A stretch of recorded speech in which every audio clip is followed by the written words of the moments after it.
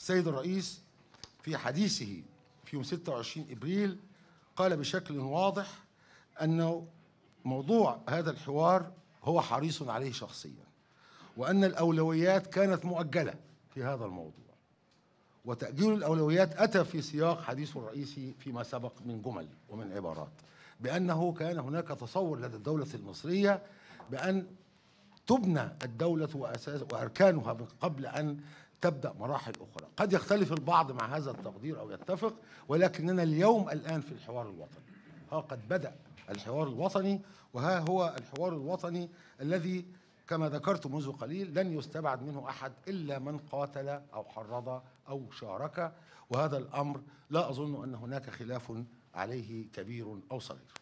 الأمر الثاني أن هذا الحوار هو حوار للجميع. والجميع هنا ليس معناه أن يخرج الحوار ويتحول إلى آه، تبادل للكلمات وتبادل للخيالات.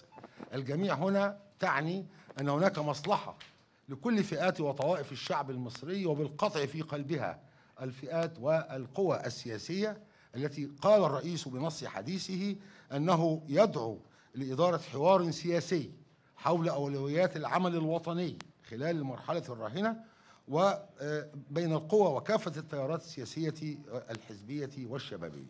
وبالتالي القوى السياسية والحزبية والنقابية جزء رئيسي في هذا الشعب لكنها ليست كل هذا الشعب. هذا الشعب ليس منقسما بين من هم مع ومن هم ضد. هناك أغلبية كبيرة لا هي مع ولا هي ضد ونحن نسميها بأسماء كثيرة ومصطلحات عديدة سواء في كتاباتنا أو في أبحاثنا. وبالتالي كل هؤلاء مدعوون وقد لاحظنا وسوف يتحدث عن هذا السيد رئيس الأمانة الفنية عن الأرقام التي أتته أن هناك إقبالا كبيرا وهائلا من فئات كثيرة من الشعب المصري. هذه الفئات لا حقها في أن تتواجد في هذا الحوار على أن يمارس هذا الحق وهذا ما وضعناه كقاعدة عبر أفكار أو مقترحات.